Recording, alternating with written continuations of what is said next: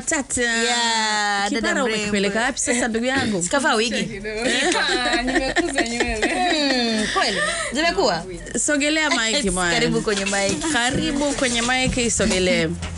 Kipara chetu kimeenda wapi? Au ndo staili mpya ya nywele. 2020? Yeah, Eh? nimekuwa kidogo nibadilike Kweli, kwa ndo hizo hapo. Kwa hiyo sio wigi. Talivua. Unataka kuhakikisha mpaka umweke vidole kichwani. weke vidole Tomaso liendelee hapa. Jamani, Flaviana Matata yuko studio.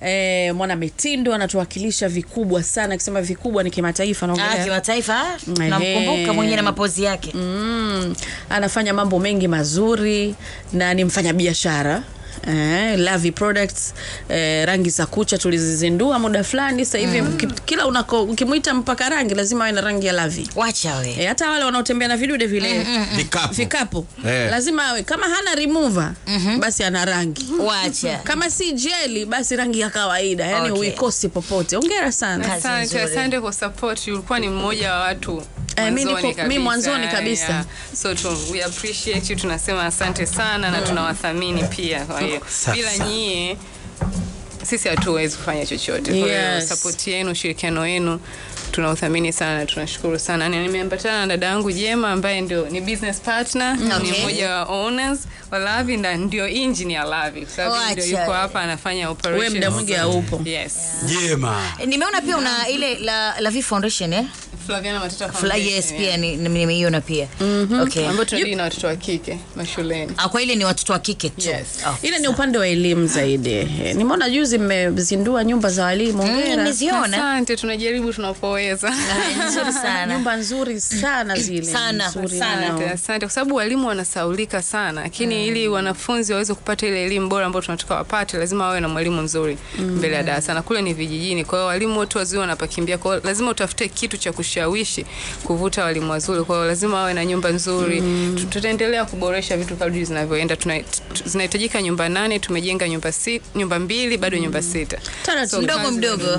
ongera sana. Hata hizo mbili ni hatua. Kuna watu wana Yeah. hela mjini hapa wana uwezo mkubwa hata kujenga choo hawawezi cha shule. Mm, nini nyumba? eh, nini Choo nyumba za choo. kuna mtu tu. namfahamu ana hela sana.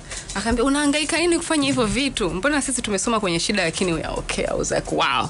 Okay. Eh, mindset kama watu tena. shida na watu wapate shida. Usikuwa selfish nadhani Mm, sawa na sasa hivi tumekuja na sanitary pads nimeona eh, kwa ajili ya Watoto wa kike kina sisi tena hapa mm. maana sisi nasi tumo ah, tumo maana ukome wetu kuanzia miaka umo wapi? hamsini. Ah, Hapana, Swebe. mimi nilikuwa nataka niulize ile kauli mbiu je, inatubeba na kina baba mara na naona kama inachukua watu wote. Ile siku zako ni siku zetu Yeah. Eh, sasa sisi tunaingiaje humo kwenye siku zake huyo na siwe zangu Wewe huna mtoto wa kike, huna mke. una mke una dada una mama Wapo hao watu. kwa hiyo tunajaribu kuwaleta wanaume kuwa Eh, kwenye ili tu- tunavunja ukimya kwenye masuala ya hedhi. Kwa hiyo Yeah. wanaume tunataka muwe sehemu ya haya mazungumzo. Kionekane ni kitu cha kawaida na ni kitu cha kila mmoja. Sio kitu cha siri au uchafu cha aibu au ni kwa ajili ya wanawake tu. Kwa nataka wote tushiriki tuvunje ukimya. Iwe ni kitu yani amekuja dina anaumwa au wewe umechelewa upo njiani amefika kapata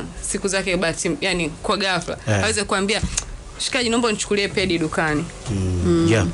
sasa Ah, hiyo- hawa mimi siwezi kwenda bwana. Siwezi Ah, kwenda. ah, Naona naenda naenda alafu watu wote wajue kama nimebeba hiyo kitu unatembea nayo yeah. mwenyewe lakini kama iko hivyo ningependa wakati mnaenda kuwapelekea wanafunzi mashuleni mwashirikishe na watoto wa kiume kwa sababu uh, we, mara nyingi wakienda kupelekewa hiyo elimu ya pedi mm-hmm. wanatengwa watoto wa kiume hawajui alafu baadaye wakiuliza wanaona, ah. Kwa hiyo hata akija kuambiwa na mama yake kanunua kitu fulani kwake inakuwa ajabu kwa sababu aliona kabisa hiyo haimstahili kwake. Na ndio maana eh, watu wa kiume wengi wanatengwa kwenye hizi harakati za wanawake. Wanavyokuwa. Unajua mtoto Yeah. unachomfundisha akiwa mdogo anakuwa anakiamini hicho. Kwa hiyo ndio maana ni vizuri sana kuanzia kwenye ngazi ya familia. Mm. kwe na mazungumzo kama hayo. Na rafiki yangu mmoja anaitwa Jennifer nilienda nyumbani kwake juzi. Yani nilikuwa very proud. Nikafika mtoto wake nikamwambia nauma akasema niko huko kwenye siku zako yani anaongea kingo are you on your periods nikamwambia how did you know? Ananiambia mama aliniambia unaumwa sana ukiwa period. Na mtoto ana miaka nane mvulana. So yeah. yani yawe mazungumzo ya kawaida kwenye familia lakini nakuelewa pia tunapoenda mashuleni tuwajumuishe watoto wa kiume. Uhondo. mimi nakula breakfast nakula lunch nakula dinner. Mtu anasema "Ah, nafanya diet. No kula lakini portion ndogo ndogo. Yeah. yani ule milo yote mitatu. Mlo Sababu, kamili. yo- di- wana- wanaita ni digestion Digestion, yes. meng'enyo wa chakula. meng'enyo wa chakula. Una- unasaga chakula kwa haraka. Lakini ukishauzoesha kukaa njaa uki- ukila chakula kinasagika taratibu. Okay. Ma, matokeo yake unapata hiyo constipation. Mm -hmm. Ah, constipation tena. Sisi mbona jamani hatunenepi hivyo kama mnavyonenepa nyinyi? hilo tumbo lako umeliona? Sasa tumbo. afu tena wana Mwili la unene ukoo. mbaya unajua eh? hivi Flavi, nani huko uko marekani sehemu gani New York. new york una dada wa kazi Hapana, Kwa nini? kitu mwenyewe, gari, gharama. Lakini na dada wa usafi ambaye namleta mara mbili kwa mwezi, kila baada ya wiki mbili, ile kufanya ule ile deep clean. ni Lakini- gharama sana sana. kwa nini Akija mara moja nampa dola mia, mara moja Yeah, ile siku alokuja ile. Yeah. something.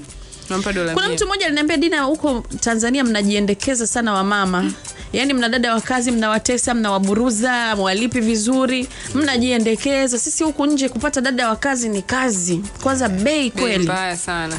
Lakini uh, sio vizuri kutesa dada wa kazi kwa sababu unamwachia nyumba yako unamwachia watoto. Yeah, kwa hiyo mchukulie kama ni sehemu ya familia. Mm. walipe vizuri.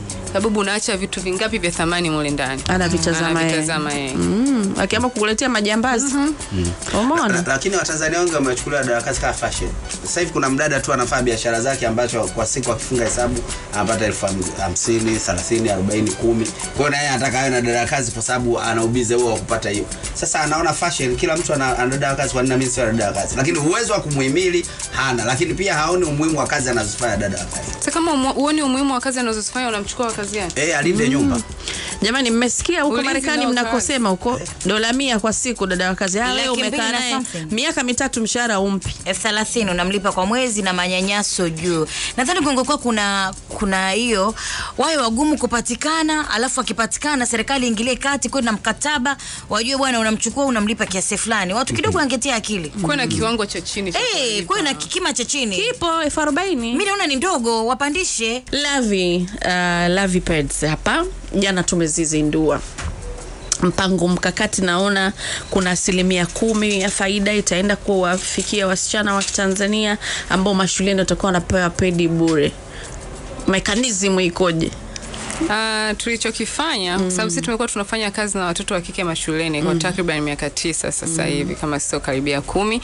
Kwa hiyo tu, tayari tuna listi ya wasichana ambao tutaanza kuwasaidia au mia moja kwa maana kuanzia ile shule yetu ya Msinune kule Bagamoyo tu, mm. kuna wasichana ishirini ambao wamesha tayari wanasema kuvunja ungo mm. ile lugha ambayo inaeleweka kwa kiurahisi, lakini vile vile sehemu nyingine mfano Karagwe Kisarawe, Iringa, Dodoma tumetafuta wale afisa tawala wa elimu mm. Unajua kila shule ya serikali ina orodha ya wanafunzi ambao wanatoka kwenye mazingira Mazingira magumu, yes. Kwa hiyo tumewaomba wakatulistia wakatupa idadi ya wanafunzi tukachambua. Kwa hiyo tunapata jina la mwanafunzi, umri wake, yupo darasa ngapi au kidato cha ngapi. Kwa hiyo tumeanza na wasichana mia moja kwa sababu hatujaanza kutengeneza faida, ndio kwanza Ndio kwanza tumezindua jana. lakini tunaamini Watanzania kina mama kina baba kina kaka, jinsi mnavyonunua bidhaa zetu ndio tunaweza kuendelea kuongeza kuwasaidia wasichana wengi zaidi. Mm. Kwa hiyo tutaendelea kuwa tuna update baada ya kila muda kwamba tumeweza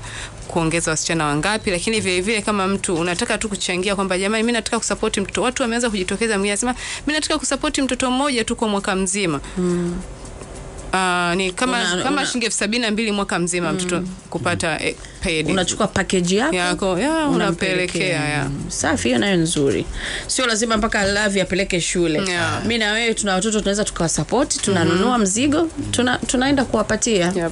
mm -hmm. na jana ndo mmezindua maana yake usambazwaji umeshaanza au tunakuwaje ya tumeanza usambazaji ziko madukani kwa maana ma, supermarket zote za shoppers mm. kwa pale zuri na manga supermarket na vile.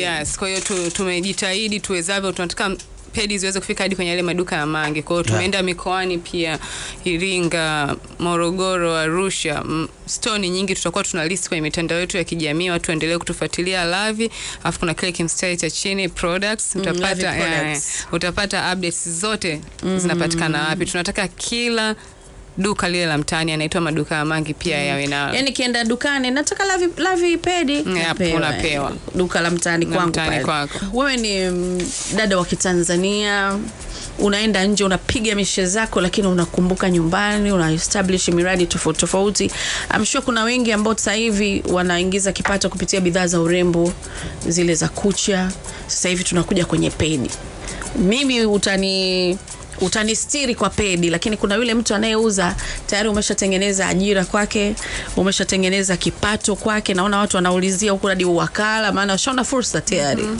-hmm. umeona? Kwa hiyo ni kupongezi sana kwa kitu hiko. Asante asante yes. sasa uh, labda kwa, uju, kwa mjumuisho vitu gani unataka kuwaeleza watanzania?